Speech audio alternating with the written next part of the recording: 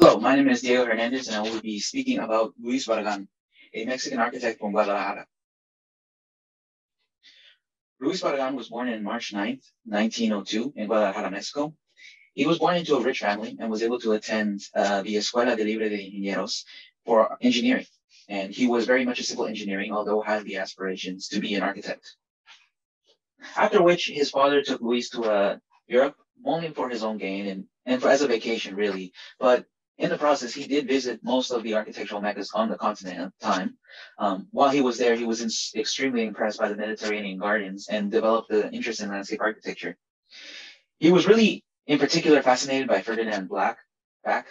He was impressed with the architecture from South Spain and North Africa, particularly in love with the gardens that was in there. And a lot of the Arabian landscape architecture really caught his attention.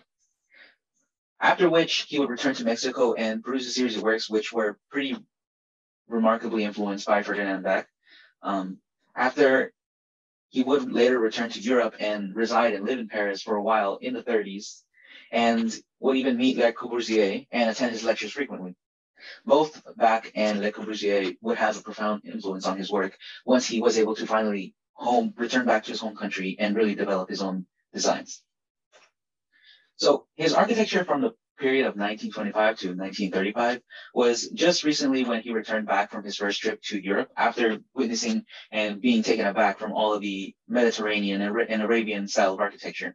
Um, here are some of the quick examples. I won't go too into detail for them because they don't really define his entire career, but you can see that already he was pretty interested in the texture and, and the colors of these buildings. Um, you can see some recessed, uh, layered windows in these buildings, which do reflect some of the Arabian, uh, Northern African architecture. And um, we really start to see at least a beginning of his development of his own ideas after which. So once he, once he returned to Europe and resided in Paris for a couple of years, there he really got into um, Le Corbusier and attended his lectures. And when he returned the second time to Mexico, um, right after this period that he spent living in Paris, his architecture really changed. And his designs really reflected that of functionalism and modernism. He was particularly doing um, globalization style of architecture. And at this point, Le at this point, uh, Luis Barragan was in a way anxious about his financial situation. He grew up rich, so he wanted to maintain that rich lifestyle. So a lot of his architecture here was quick built developing um, architecture. So mainly just houses he wanted to sell for a profit. They weren't um, really evocative of his architectural um, design or thoughts, but were really made just to make money and to give him that better lifestyle or that financially stable lifestyle that he wanted to maintain. So after he did a couple of these houses, he kind of took a step back and did not design any architecture for a while and basically only reverted to designing gardens. After a couple years, he would later return and his houses would enter, his design would enter a third phase of which Luis Barragan is definitely his most identifiable by. His third phase is like a cons- consolidation of the modern and the historic.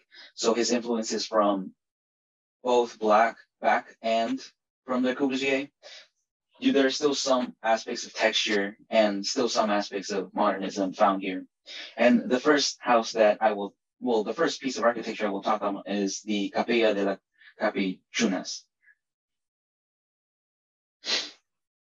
So this is one of the most revered religious architectural works in Mexico from this time period.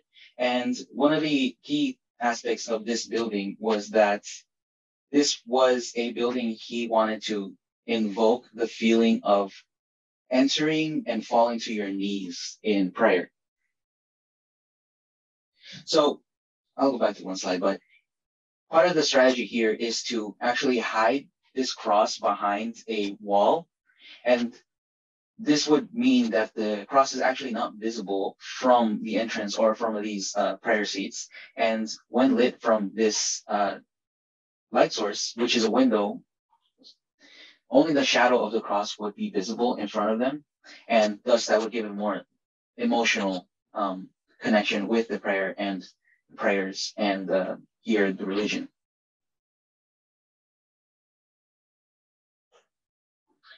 Again, um, this building is mostly an interior work, but still we begin to, right away, we begin to see some of um, his options for uh, texture and linking nature to architecture and also to the religious.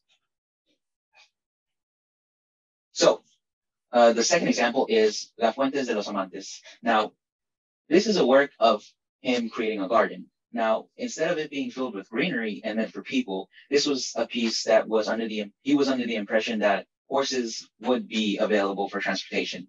He had a distinct love for horses and nature, so he designed this place in a way that accommodates horses more so than people, honestly. Um, he thought of architecture as like an extension of garden. Again, he wanted to connect, he wanted to make a connection between architecture and nature. And he made this in particular for that connection directly through the horses. Now, finally, we'll take a look at the Casa Gilardi, made in 1976. This was his final work before he passed, and is often thought of as his final garden. Um, from the exterior, you can see that in terms of formal qualities, it is pretty, I guess, modern in a way, but in his thought and his ideas and concepts, it is pretty out there because he is trying to relate again nature with his building and in particular, this shot, which is from the what we call the comedor or the living eating area, looking at this pool of water with a light with a light source hitting it was a the ray of light is symbolic for the divine and a connection between God and nature, kind of symbolizing this as a place of final resting place, or maybe even a place of baptism. Um, here, light is relating to God, and again, the architecture is an extension of the garden. Now, in conclusion, Luis Barragan was not an architect that we could say identified with a specific movement or design style. Um, he was very much his own individual doing his own thing in architecture, not really, uh, not really being able to conform or conform into a single architectural movement. He took from both the modernism and um, functionalism, and also took from the historical, uh, just from the textures, the materials, and the ideology of bringing the nature and the outside, which is also a modern idea in some instances. But um, Luis Luis's uh, experience and his architecture differs from the Western canon because in the Western canon it is pretty what black and white and everyone has its own place. But Louis is in a special case where he is like a mix of these two things, a mix of almost a postmodernism and a modernism. And this would be, and it's a shame that doesn't show up in a canon or, or architects like this don't show up in a canon because I think it could really elevate the education of architecture. Thank you.